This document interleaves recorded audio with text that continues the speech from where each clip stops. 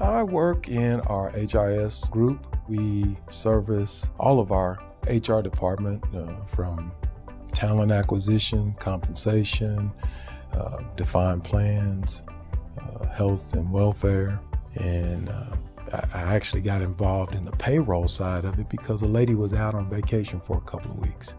And I was allowed the opportunity to step in and kind of fill her spot. But then our group has kind of grown and we took over the process of running the actual payroll and, and making sure that notch deposits and checks are there.